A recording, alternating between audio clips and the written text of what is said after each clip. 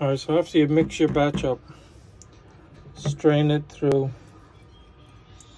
some kind of screen. You got to get those little uh, clumps out. Now that's nothing you throw away yet. You just got to brush out, brush them through, because that's good xanthan gum. You don't want to waste that. Once you break up the clumps, you can uh, sift it through maybe one more time.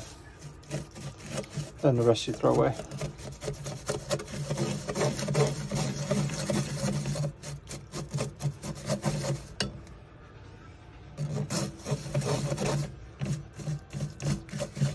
You can run a little uh, extra water through it. Or you just take this out and put it in a cup and then remix it again in a separate cup. Okay.